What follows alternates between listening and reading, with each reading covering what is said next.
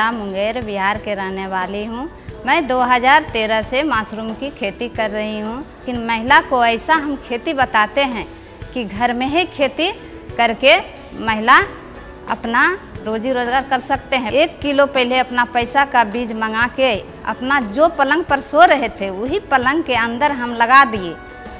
सभी जगह का भाव था, अभाव था जगह का वही चारों साइड साड़ी का जो है, हम ढक दिए। वैज्ञानिक सब बताए कि बीना जी, कहाँ पर खेती कर रहे हैं? हम बोले कि, सर, मेरा जगह रूम नहीं है।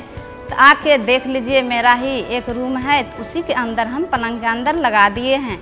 तो आके फ़ोटो खींच के ले गए, विश्वविद्यालय सबौर ले गए, मुंगेर ले गए, Mukesh sir, Rita madam, Anita madam सभी।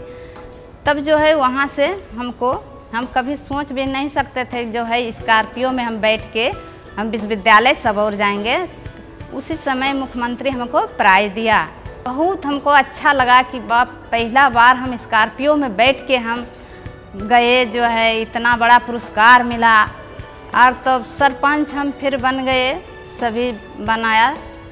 तब फिर अररिया गए जि, जिला अररिया जिला गए बीस जिला जो है बीस गाँव जाके फारबिस गनो किशनगंज सभी महिला को हम प्रशिक्षण देने का काम किए।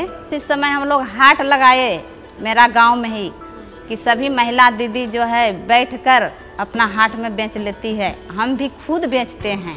महिला और जेंट्स में कोई अंतर नहीं है।